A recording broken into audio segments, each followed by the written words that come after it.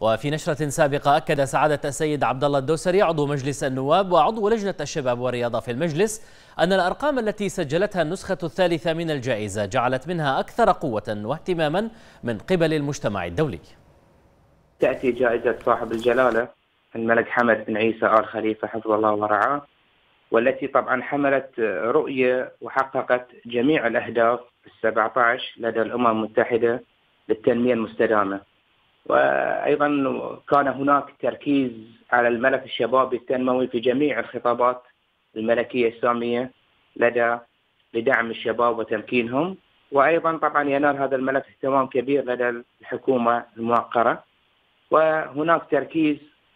في محور الشباب في برنامج عمل الحكومة برئاسة آه، ولي العهد رئيس الوزراء صاحب السمو الملكي الأمير سلمان بن حمد آل خليفة حفظه الله ورعاه. وطبعا أيضا آه، هناك مبادرات كثيرة لسمو الشيخ ناصر بن حمد في دعم الشباب من خلال برامج عديدة وكثيرة وأيضا يعني رئاسته لصندوق الأمل الذي يعني أتى ليؤكد أهداف تمكين الشباب لتحقيق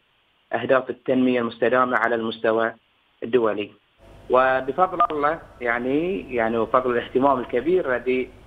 تلقاه من قبل القيادة الرشيدة نعم. تواصل الجائزة التطور من حيث طبعا الحجم والانتشار ووصلت النسخة الثالثة لهذا العام إلى أكثر من 100 دولة واستقبلت أكثر من 4000 تقريبا طلبا الأمر الذي جعل طبعا أكثر تاثيرا وقوة واهتماما من المجتمع الدولي وجعل أنظار العالم تتجه لمملكة البحرين